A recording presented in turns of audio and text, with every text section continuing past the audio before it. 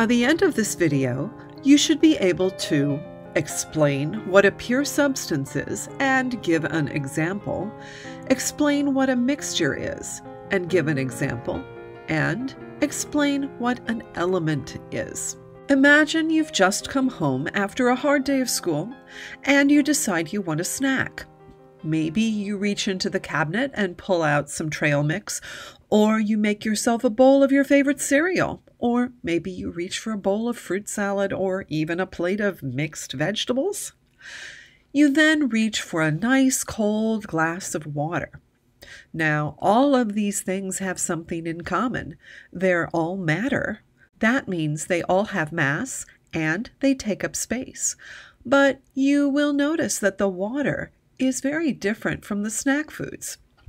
That's because the water is what we call a pure substance, and the snack foods we just mentioned are mixtures. As we discussed in a previous video, matter is a physical substance that has mass and takes up space. Matter can be classified into two categories pure substances and mixtures. A mixture is a material made up of two or more different substances that are physically combined. The composition of a mixture can vary depending on how much of each substance has been mixed into it.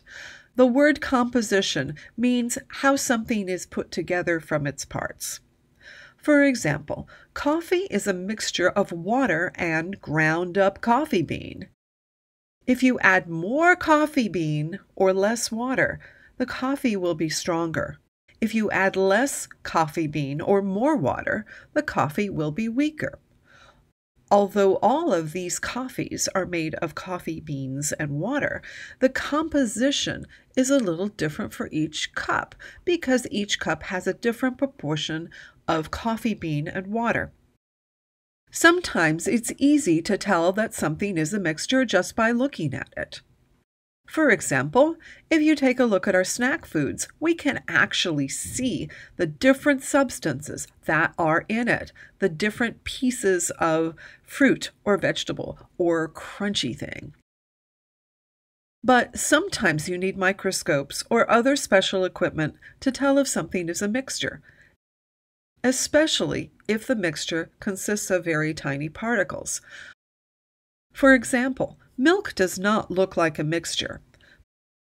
But if you look at it under a microscope, you will see that it's a mixture of fat globules and other things that are floating around in a liquid.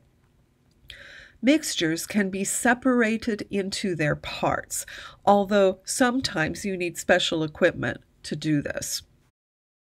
A pure substance is matter that is made up of only one type of particle. There are two types of pure substances elements and compounds, and we will talk about compounds in a future lesson. Water is an example of a pure substance. It's a compound, and it's made up of very tiny particles called molecules. All of these particles are identical, there's nothing else mixed in. But as we'll see in a future lesson, these particles in compounds can be broken up into smaller particles using chemical reactions. We will be looking at what compounds are in a future lesson. In this lesson, we are going to focus on elements. Elements are the most basic pure substance, and all matter consists of one or more elements. All the particles in a sample of an element are identical, but unlike water and other compounds, you can't break the particles in elements into something smaller without changing the identity of the substance entirely. There are currently 92 elements found in nature, although additional elements have been formed in labs.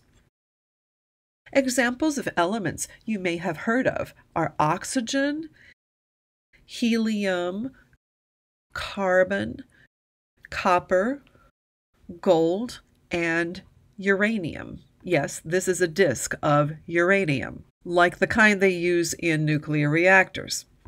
Some elements are very common, and some elements are very rare. Each element has a unique set of properties that is different from the set of properties of any other element. For example, the element iron is attracted by a magnet. The element neon, which is a gas, glows red when electricity flows through it. The element gallium is a solid at room temperature, but will melt in your hand.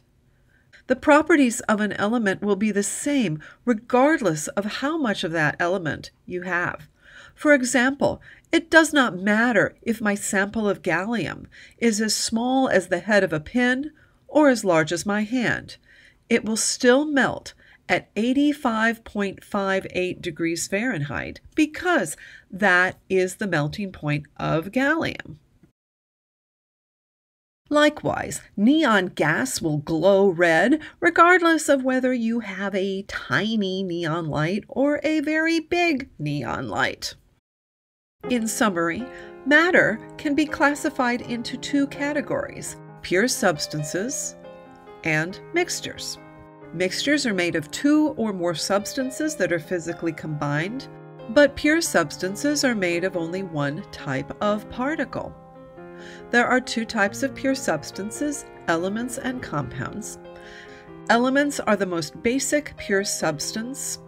They cannot be broken down without changing the identity of the substance. And all elements have physical properties that can help you identify an element and distinguish one element from another element.